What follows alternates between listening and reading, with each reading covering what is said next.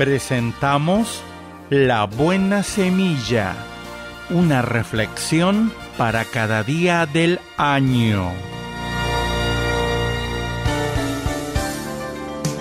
La buena semilla para hoy se encuentra en Proverbios 18.8.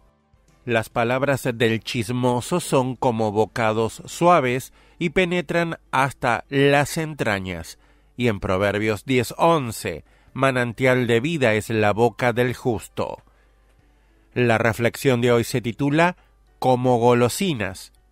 Una vez en la boca, baja a las caderas. Una amiga colocó esta frase en su cocina. En efecto, esto caracteriza a las golosinas. La Biblia compara las palabras malas que escuchamos con las golosinas, recibidas con cierto placer penetran profundamente en nosotros y pueden tener efectos que duran mucho tiempo.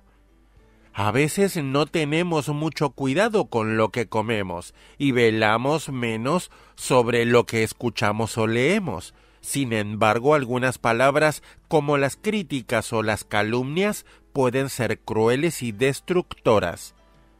Si tales palabras nos atraen, si logran captar nuestra atención e interés es porque en nuestros corazones hay una zona sombría donde se esconde el orgullo, la maldad, la amargura, todo lo que Dios llama pecado.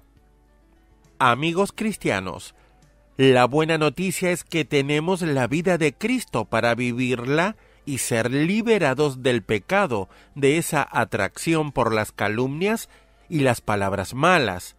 Quítense de vosotros toda amargura, enojo, ira, gritería y maledicencia y toda malicia. Antes, sed benignos unos con otros, misericordiosos, perdonándoos unos a otros, como Dios también os perdonó a vosotros en Cristo. Efesios 4, 31 y 32. Si sabemos algo malo de alguien, callémonos. Si sabemos algo bueno de alguien, digámoslo. En vez de criticar a alguien, acerquémonos a él y hablemosle con amabilidad y cariño y sobre todo, hablemos a Dios de los que nos rodean para poder hablarles de él.